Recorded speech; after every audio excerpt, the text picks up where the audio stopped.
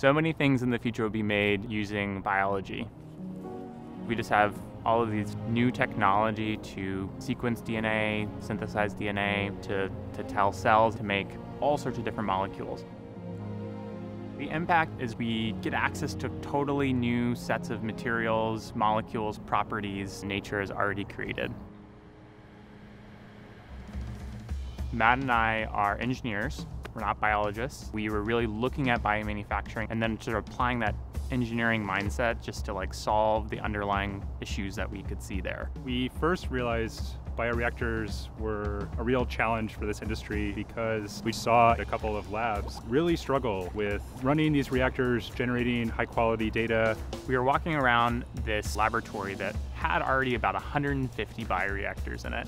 They told me they would want to run 10 to 100 times more of those bioreactors if they could. It became kind of clear that this was a bottleneck and a real challenge for the entire industry. It's really hard to run uh, traditional bioreactors a lot of manual setup, there's a lot of connections. You start the fermentation, go home. You don't have any way of monitoring it. Things can break. Fermentation is 90% troubleshooting. You can have pumps failing and you have to go in and kind of take it apart, put it back together. A lot of companies just don't have the time or the resources to run a lot of the tests that they should be, which means that they don't. And that's where you encounter troubles when you go to scale up. And those can be some really costly mistakes. Software engineers have an enormous amount of tools at their disposal for doing their work on a day-to-day basis. And that's just not something that we typically see in industrial biotech. We really thought that there's a lot of potential power there that we could give to researchers and bioprocess engineers. Why don't we create cloud infrastructure where we're supplying high quality bioreactor data to these companies so they just worry about you know, making their new protein or making their new therapeutic molecule. My experience was all traditional fermentation, which is a lot of manual work and a lot of babysitting. When I heard about cloud-based lab for biomanufacturing, I was super excited. To us, a cloud bioreactor is a reactor that generates data in our lab, but simultaneously sends all of that same data into our API services in the cloud. These services allow us to gather the data, do new, uh, interesting kind of computation on that data, and then present that data to our customers all of this happens, I should say though, in like 10 seconds. So basically your data is always available for you.